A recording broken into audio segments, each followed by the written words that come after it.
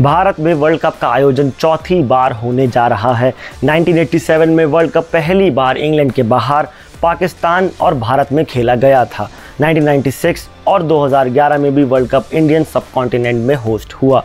पिछले सभी editions India ने पाकिस्तान, श्रीलंका, बांग्लादेश के साथ यह टूर्नामेंट होस्ट किया है।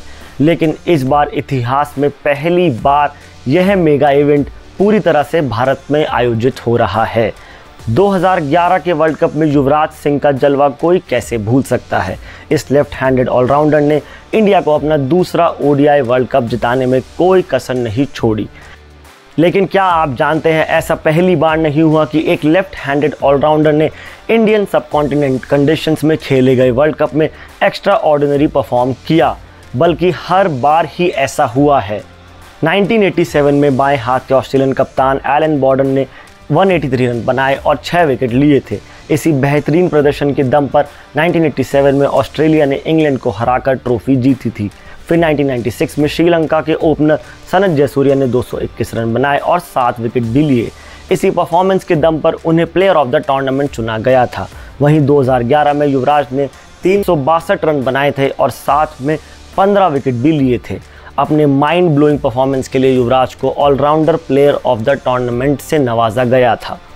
सब कॉन्टिनेंट कंडीशंस में सिर्फ़ बाएँ हाथ के खिलाड़ियों का ट्रेंड नहीं देखने को मिलता। अगर टीम्स की ट्रेंड की बात करी जाए तो अब तक जितने भी world cup Indian subcontinent में खेले गए हैं, उनमें एक एशियन टीम हर बार सेमीफाइनल में पहुँची है। 1987 वर्ल्ड कप में भारत और पाकिस्तान की टीमें सेमीफाइनल में जगह बनाने में सफल रही थी।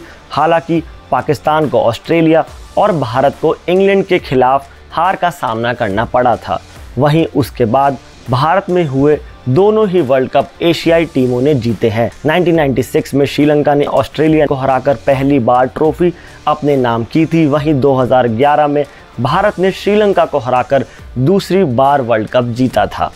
एक और इंटरेस्टिंग ट्रेंड जो देखने को मिला है वो ये है कि पिछले तीनों ही वर्ल्ड कप में जिस टीम के बैटर ने सबसे ज़्यादा रन्स बनाने वाले बैट्समैन की लिस्ट में टॉप थ्री में फिनिश किया है, उसमें से ही किसी टीम ने वर्ल्ड कप जीता है।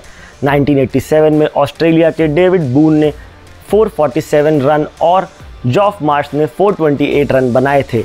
दोनों ही टूर्नामेंट में सबसे ज़्यादा रन बनाने वाली लिस्ट में दूसरे और तीसरे नंबर पर थे।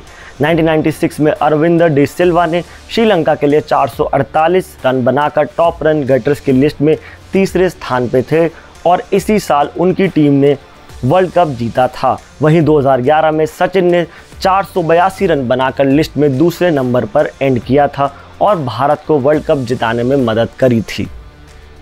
इस वीडियो में बस इतना ही। अगर आपको ये वीडियो पसंद आया तो लाइक और सब्सक्राइब करना ना भूलें। वर्ल्ड कप की और खबरों के लिए जुड़े रहिए एनडीटीवी स्पोर्ट्स से।